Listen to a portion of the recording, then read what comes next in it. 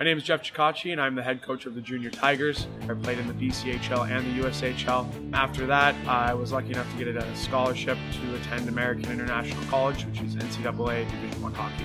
The best part of coaching for me is watching the kids grow long term. Getting a kid when they're three or four years old, when they can't even skate, and you know, three or four years later, seeing them compete in leagues and in tournaments and grow as, as a player and a person is really rewarding. When selecting a program, it's important to have a good balance of training and games. Training allows the player to have one on one time with the coach, work on their stick and puck skills as well as their skating, and really develop as an individual. Games are used for positioning, teamwork, and getting to know the game as a whole. As a coach, the two skills I try to instill in my players is a good work ethic and a good attitude. My father used to tell me that those are the two things that you can control your work ethic and your attitude. I try to pass that along to our players.